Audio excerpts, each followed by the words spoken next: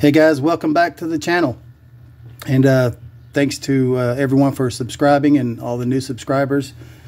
Well, here it is, uh, the 51 Mercury that I've been working on the past few days.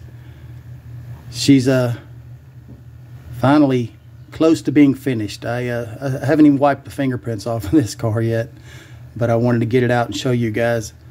I can't wait for Jimmy Flintstone to release this resin body so you guys can have some fun with it me personally, of all the 49, 50, 51 Mercury, the 51's been my favorite. Uh, it's just got the extra long quarters on it, you know.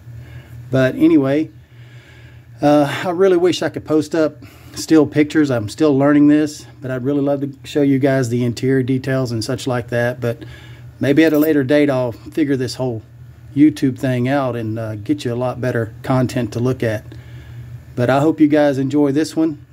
Uh, as you can tell, uh, painted it metal flake from the previous video, metal flake silver, and then uh, I put a Createx uh, emerald green candy over the top, three coats of clear.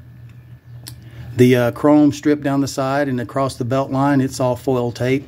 The rest is all hand painted uh, as far as around the windows and such. Didn't really add anything unique to this one that wasn't already here, you know, from the previous build before uh, it was purchased by Jimmy Flintstone. But either way, um, I hope you guys enjoy this one. Stay tuned, and I'll, uh, of course, be posting more. Have a great weekend. Thanks.